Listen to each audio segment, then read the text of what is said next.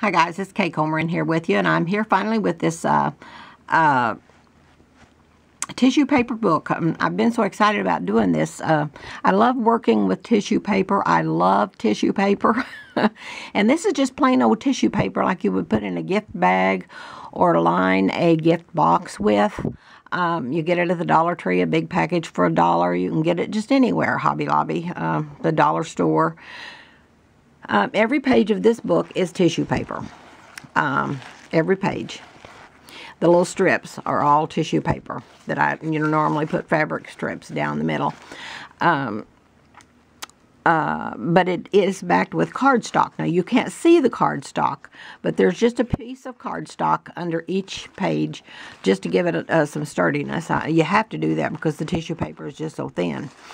Um, all of the tissue paper is double aged and the way I do that is I'm going to try to do a tutorial soon. I have to figure out how to do this camera first because I tried it once and I had three little, three or four little short videos instead of uh, one long one because I would turn it off to do something and turn it back on and that would make another video. So I have to learn how to do this right first. Uh, but um, anyway, everything, this is... Um, this is a tissue paper bow down the side here, and I've just put it on the outer binding. Um, it's just a big piece of wadded up to make a bow, tissue paper.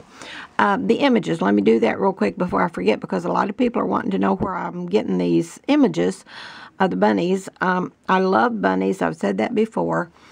I've collected bunnies since the mid-90s, and uh, I love the, the Beatrice Potter bunnies, and um, I don't like cutesy things, but I do like that vintage look in a bunny, and I've got quite a few in the yard, on our grounds, around in the gardens, and and in the house too.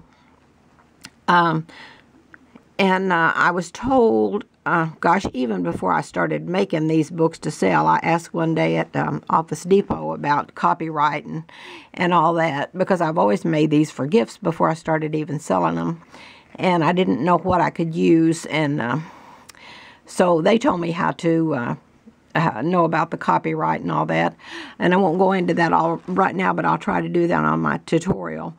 But um, uh, the Beatrice Potter, the the bunnies like this are all old, old. Um, and they are not, um, you know, it's okay to use them. Uh, I type in, I go to Pinterest for some of my things, and I will type in royalty free or a public domain or free printables, free downloads. And you can find anything doing that. Even some of these bunnies you will find that way. Now, you may have to hunt. That's what I spent most of, spend most of my time doing on every book, is finding just the right image, the perfect image for what I want. And um, I won't stop until I find it. I won't settle. I just don't settle. I'm not that way. Um, but uh, after what they told me about how old the Beatrice Potter bunnies and those things were, um, some of the real popular images, um, I got on eBay and uh, started looking in uh, junk stores. I'm big on junk and I love to do that. Um, but I got on eBay and bought a, a, few books like that. So I have uh, so far but I knew I was going to run out soon.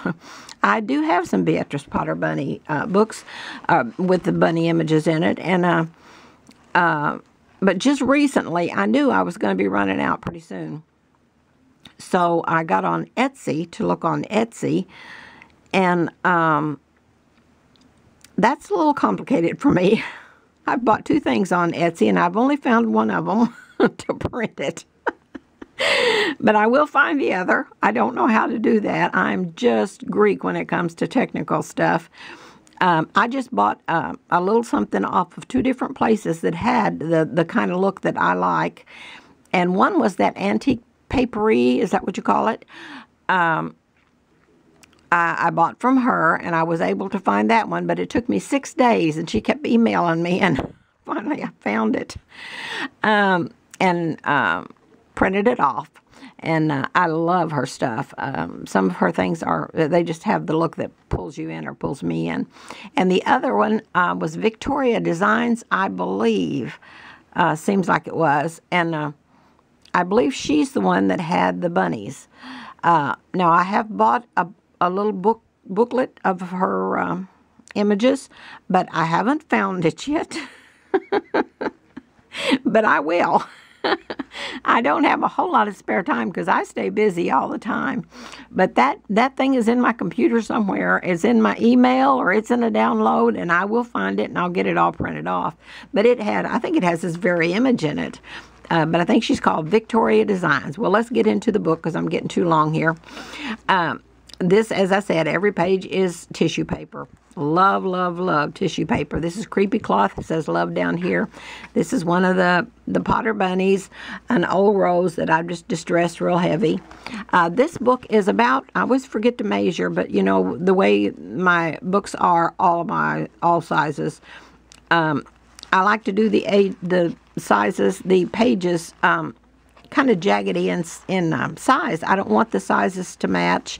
I want them to be one to be short and one to be tall, you know. Um, I just like that look. And uh, so this is about five by seven, something like that.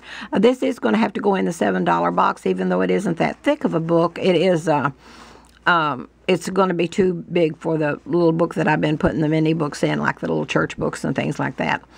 Um, Country Church. So um, that's what it is. It's about five by seven, give or take, and it's all tissue paper. Okay, this is the inside cover. Some creepy cloth, an old flower. This says leave a little sparkle wherever you go. Some old roses. This is just some pink gingham from Hobby Lobby that I've just distressed really heavily and put a strip of uh, hot glue down through there for that and just squinched it up and that made like a pleat. And I love that. The little flowers are from Hobby Lobby. This just says love. Love that. Old paper flower. This is some hearts. I told about that in the last book. I bought a bag of um, hearts. I had about 150 in the bag, and, and they were just stained hearts. So I got it for 50 cents. I brought them home, and I thought, well, I can just paint each heart as I need it for different pages, and that's really going to come in handy. Put the little chicken stamp down here, some paper flowers. It says believe right there. Love. I use the word love a lot in all my books. I don't think you can use the word love too much. Um, I have a saying on my wall somewhere in, in the house. I can't think where, what room it's in, but it says, regardless of the question, the answer is love. And I believe that. I just, um, I'm a hopeless romantic and a, a real sappy, soft hearted person. Take time to make your soul happy. Then the little teacups here all stacked and Annie goggling, and the little birds on the flowers and paper flower up here. This is just a doily that I put in there. See, I stamped love on there, stamped love on that side. Have just the little tissue paper strip down the middle. Here's another little bunny says love, love, love, love, love. Can't love too much. Cannot love too much. Love these bunnies. Love clocks too. I love old clocks and I like only clocks with numbers, real numbers. Don't want those Roman numerals.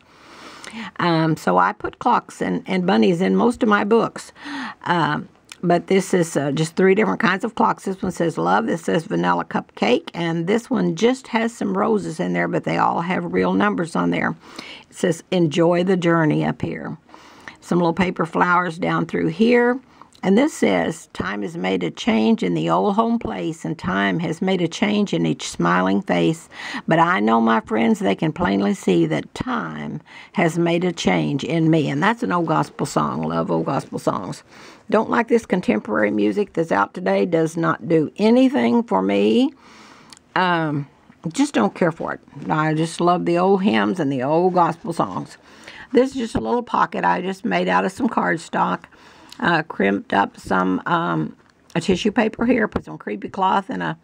Uh, I bought some uh, buttons at a flea market. I don't remember if this one came from the flea market or a yard sale, but uh, had some little flower buttons in there, and that, that, all the buttons looked real old.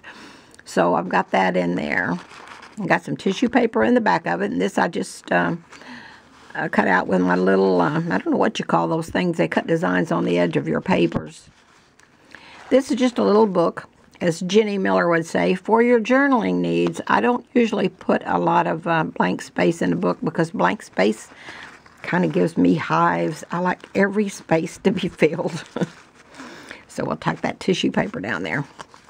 let's see, just another little bunny. Love that bunny. I've used that uh, several times, uh, even on the front.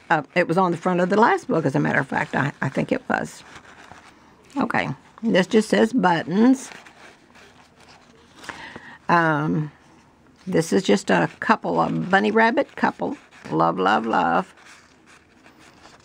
And this is grateful, thankful, blessed. Love this bunny here. I just absolutely love that bunny image. I'm just drawn to um, things that kind of speak to your heart and soul. Um, hearts, uh, you know, roses, vintage roses, cabbage roses, uh, bunnies. I love stuff like that. On the back it just says love. And then over here have, uh, this says scatter kindness. This says blessed. This is dream. This is just a big image that I just kind of tore around and uh, distressed the edges uh, with the uh, Tim Holtz ink. This is just some creepy cloth with a paper flower that's been distressed really heavy. Now, what did I do with that? Okay, let's put this back.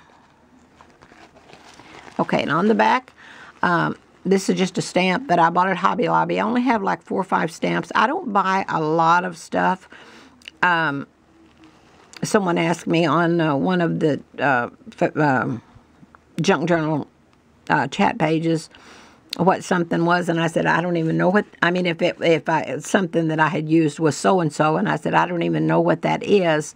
I really um, mainly stick to. Um, I'm 72 years old, as I've said, and I have collected. Uh, crazy things all my life, really, since I was 10 years old. I collected my first saved my first little poem when I was 10 years old. And I don't know, that just set me on the path to collecting old things. I think I'm an old soul deep down inside, and I always have been, even when I was a little girl. And um, I've just always collected now old buttons, old doilies, uh, crocheted doilies. I like white or off white. Um, old linens, old cutter quilts, old magazines. I have old magazines that are uh, dated 1915 and maybe some before that. Um, you know, and I, I can get images out of any of those things. Um, I've just always collected old storybooks, the old golden books, uh, old, old books, even before the golden books. And uh, uh my husband has said to me so many times, Why do you still collect that stuff? Because we are old. We're both in our 70s. He's about to turn 74. And I, I never knew why I collected them. Um, but I just love them. I don't, I don't know. It just makes me feel good. Uh, sometimes I'll post to somebody that has something with kind of a similar look to this going through uh, uh, one of the junk journal groups, and I'll say, "Oh my goodness, your your colors and your images just pull me right in because uh, this is this is so me. This book is so me. Our house is like this book. nothing fancy. We have nothing new. I don't know if we have anything under 30 years old, uh, newer than 30 years old. Oh, my husband's recliner. About every six years, we have to buy him a recliner because the way he sits, it leans and it breaks to the right toward the light. But uh, that is the only thing. He has made our bedroom suits, and we have Paul Bunyan beds and uh, kitchen tables and chairs and all that stuff. And He's made all of our stuff. Okay, enough of that. I get to jabbering and telling stories and doesn't have anything to do with the book.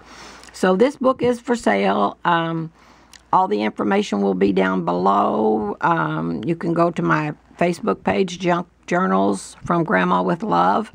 Uh, you can message me, private message, private message me on Facebook, Kay Comer, and our uh, my uh, profile picture is a picture of our our wedding uh, in uh, 1967. So it's my husband and I on our wedding day in 1967, and uh, the wedding dress and all that. So it'd be easy to find. There are other Kay Comers on there. So I'm easy to find. Um, I just invite you to join me anywhere. I'm several places, and they're all down below. Uh, subscribe to my channel. Um, I have one book that I have to get out now, a big book, and uh, uh, so that's going to take me a little bit. I'm going to try to do it in about a week and a half because it's for a local lady that's not doing real well, and her friend wanted to give it to her um, while she's kind of homebound. Hopefully, she'll be out and about pretty soon, but um, I do want to get that book done. So, this book is um, up for grabs. it doesn't have a whole lot of pages, uh, but it is um, every page is. I mean, it is full. It's um, four pages, eight pages of content, um, and it's just a, a coffee table book. I mean, I've got two on my coffee table, our coffee table. I don't like to say my; it's our. Everything is ours, but I have uh, two books on our coffee table, and uh, people will come in and they'll pick up uh, one of the books and say, "What? What is this? What? What? Where did you get this?" And then when I tell them I make them, they just, "Oh my gosh, you made that? How did you ever?" you know, well, that's going to be in the tutorial because I'll take a blank book and uh, that'll be in the tutorial too, and I'll, I'll look at it myself and I'll think, "Oh my goodness, what in the world am I going to do with this?" And then, you know, something just jogs your memory and uh, or your creative. Juices in your mind, and here you go. And next thing you know, you're going so strong you can't find a stopping place. Okay, that's it. 15 minutes into this already, I think, uh, going on 16. All the information is below. It's $25. It's going to be $7 shipping on this one. Um, and I'll get it out just as soon as um, we have everything finalized. So thank you all so much for watching. Thank you for your patience, and I love you all.